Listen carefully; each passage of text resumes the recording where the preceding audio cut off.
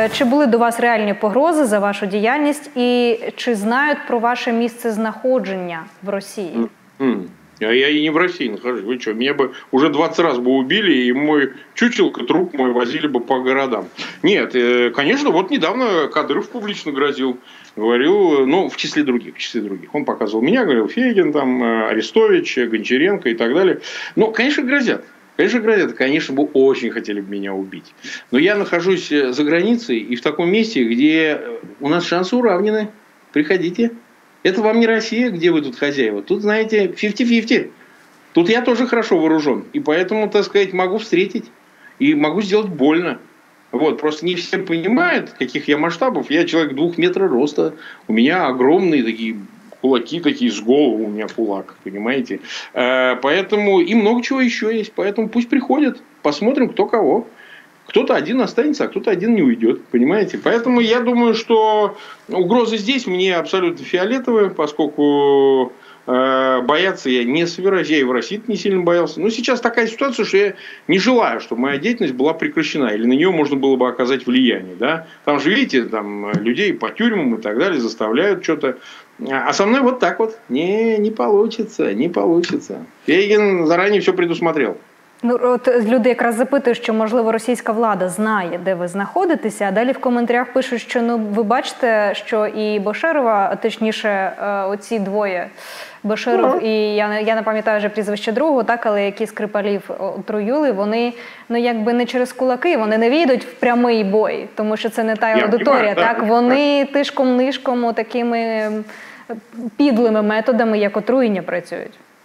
Ну от этого нельзя защититься. Понимаете, это же огромная империя, так сказать, главное в ней это спецслужбы и инструментарий их действий. Я нахожусь в Европе, вот, перемещаюсь сознательно для того, чтобы не давать э, возможности, так сказать, меня где-то поймать.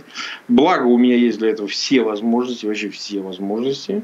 Поэтому, ну, э, что будет, то будет. Поглядим, понимаете. Я рассчитываю их опередить в том их смысле, что э, они рухнут. Но, видите, мы уравнены в чем? В том, что я представляю такое сверхрадикальное крыло. Не дай бог им проиграть. Останется кто-то один, как в фильме «Горец», понимаете? Потому что если мы придем, мы хуже Путина будем. Вот такие, как я, будут хуже Путина. Для них. Не для остальных, не для окружающих. А внутри страны мы устроим такое, что они не порадуются, они не обрадуются за все, что они натворили за эти четверть века. Понимаете? Поэтому или-или. Давайте уж так. Потому что время, когда цацкались и изображали себя гуманистов, оно навсегда ушло. Ну, как если бы, вот представьте, в Украину бы они пришли, наверное, не такого ожидали, что все перепугаются и их будут с пирогами и салом встречать. А их видите, как встретили? Всех перебили. Ну, во всяком под Киевом. Вот они приехали, и всех раз, и все. И чик-чик. Це ми ще ніжно, тому що зброї не вистачає. Було б більше зброї, зустріли би по-іншому. Люди запитують у вас ще, е, як ви вважаєте, коли в Рашці почнуться бунти? Ну, для этого нужна огромная работа, величайшее давление на, э, так сказать, режим в России, потому что нужно не давать ему вообще ни одной возможности. То есть ни газ, ни нефть, ни экономические условия, изоляция. Давление должно кратно возрасти намного. То есть оно должно быть в 10 раз сильнее. Санкции персонально тысячами людей туда заносить. А, значит, э, признать страной спонсором терроризма, какой она является. Кто сомневается, что это действительно так. Значит, это надо делать.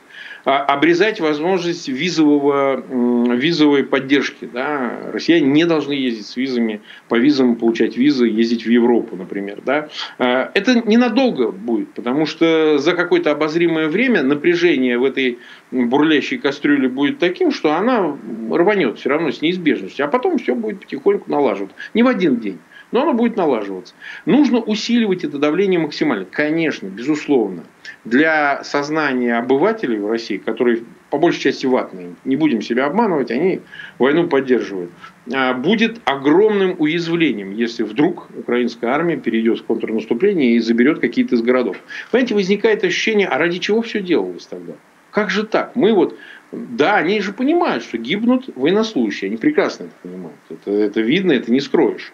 Количество могут они себе не представлять, потому что там сказали по приеме в последний раз в марте 1350 человек. Вот они так и думают. Да? Или там два человека пропали на крейсере Москва. Ну, сказали, что два человека, и все, понимаете.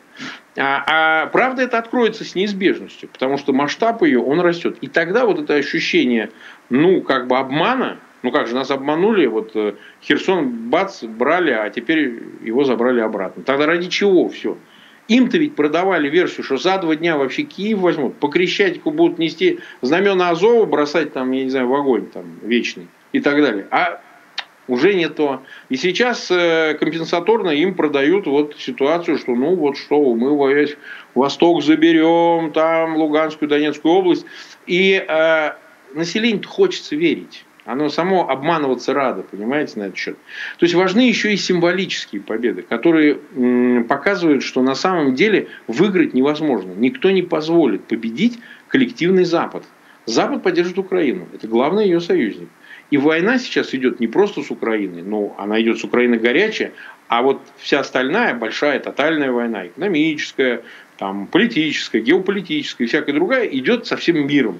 Ціннісна навіть, я би так сказала, війна. Что? Ціннісна війна, ці, війна да, цінності, да, да. так. Да, да, да, да. Поэтому э, вот как только будет победа одержана, пусть не в горячей войне, а вот в этой символической войне, когда, так сказать, силы иссякнут у той стороны, вот тогда, конечно, могут произойти вот эти самые бунты, о которых вы говорите. Потому что тогда непонятно, за что держаться и ради чего все.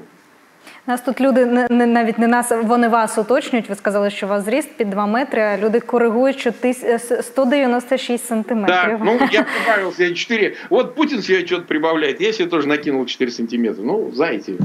Чому би і ні? Так, продовжимо по запитаннях. Відкладаю вже свої запитання. Якщо встигну, потім додам. Ідемо по запитаннях з чату. Люди запитують, е, чи буде, на вашу думку, війна е, з Білоруссю? Ну, тобто, я так розумію, чи війдуть білоруські війська все ж таки до України?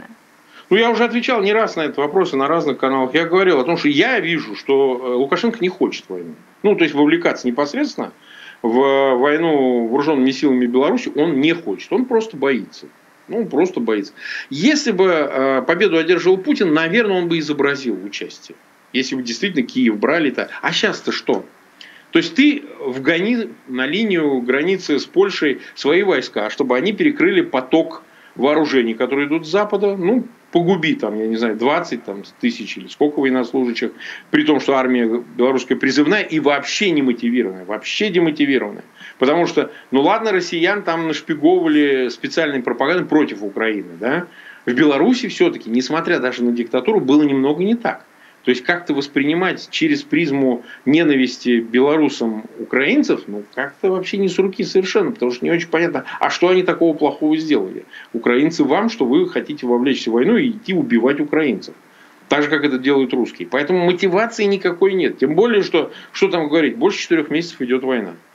Ну, что там говорить, украинские вооруженные силы подготовлены, они горяченькие, они из боев не выходят, понимаете, там идут ротации. Да. Вот представьте таких людей, которые э, режут, стреляют и так далее, кинут вот на необстрелянную белорусскую армию, как бы она ни хорохорилась.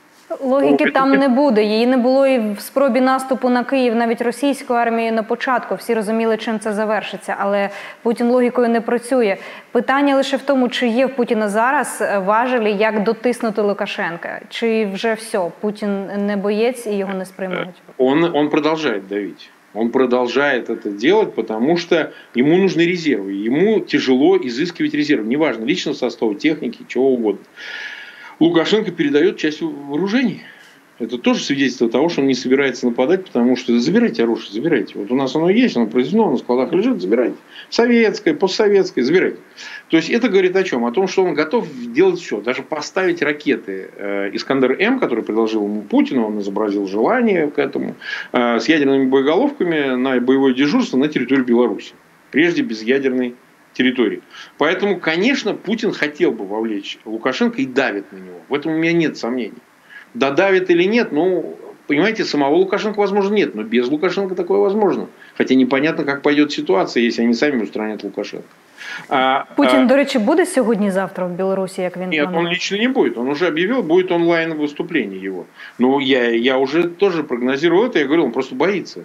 Ну а кто его знает, в Беларуси рядом тут идут бои, возьмут еще какие-нибудь ДРГ, возьмут его и грохнут, или ракеты и выстрелят. Я mm-hmm. думаю, это исключительно из цели безопасности.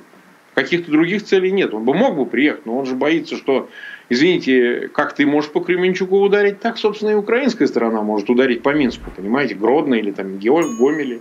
А кто сказал, что нет? А кто сказал, что нет? Поэтому с этой точки зрения это вопросы исключительно безопасности. Там нет никакого а, публичного вызова тем, что а я вот не поеду. Лукашенко пусть сам ко мне ездит. Он и так ездит чаще, чем чихает. Ну, він якраз нещодавно був так. Кілька так. запитань вже е, на цю тему до вас. Чи приїдете ви в Україну після перемоги?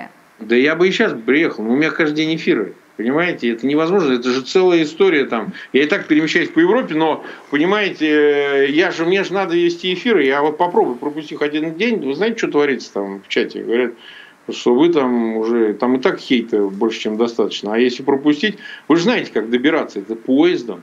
Если в самолете сел, прилетел. А это надо прилететь в Краков, оттуда ехать на поезде до границы, там проверки. Там люди по 30 часов добираются, понимаете? Вот в этом как бы есть проблема. Поэтому я вот все откладываю, откладываю, но, конечно, приеду, само собой. Ну, ми запрошуємо так. Насправді тут іноді безпечніше насправді виглядає ніж в деяких зараз інших країнах сусідах. Ну, так, давайте підемо а, ще трошки по наших запитаннях. Там запитують про ситуацію в Росії. Ну давайте ще я я це запитання поставлю. По-перше, я я їх поєднаю. Як люди сприйматимуть в Росії виплату репарації, якщо їх доведеться виплачувати? Хоча ну там навряд да взагалі російська влада погодиться на це. І друге, чим, е, чим загрожує дефолт России. Да. Ну, что касается репараций, конечно, они считают, что они вообще ничего не должны, что наоборот им должны. Естественно, если вы спросите любого россиянина, даже который, ну, так осторожно относится вообще к войне и всему остальному, а как только доходит до денежек, там сразу стопор начинается, как это мы должны платить, кому мы должны платить, нам должны платить. Но дело в том, что вопрос репараций все же, я настаиваю на этом, будет решаться без спроса России. Поскольку сейчас заморожены такие гигантские активы на сотни миллиардов долларов – и представить себе, что вот э, этот вопрос не будет дожат с конфискацией всех этих активов, и государственных, корпоративных и так далее, я с трудом себе представляю. Вот они, деньги-то, они вот лежат. Их только возьми и передай, и больше ничего не надо. Ну хорошо, яхты конфисковывают, там, компании, какие-то дома, это, это тоже все продавать, потому что у олигархов там, вы знаете, там, самолетик по 50 миллионов баксов, значит, э, яхта там по 170 миллионов, так 10 яхт набрал, и вот тебе уже и, как говорится, полтора миллиардика. Понимаете? Поэтому на самом деле, я считаю, вопрос репарации надо не с россиянами решать, не с Россией, не с Москвой, а решать его на Западе. То есть не надо их не уговаривать, не убеждать, не там грозить решениями каких-то судов. Нужно решать с западными партнерами и говорить, что решитесь на то, чтобы быстрее акцептовать эту модель по изъятию этих активов и передаче Украине. Создать трастовый фонд – куда складывать эти деньги, ну, под своим контролем, там, межгосударственный фонд, который будет финансировать и ленд-лиз, и восстановление Украины.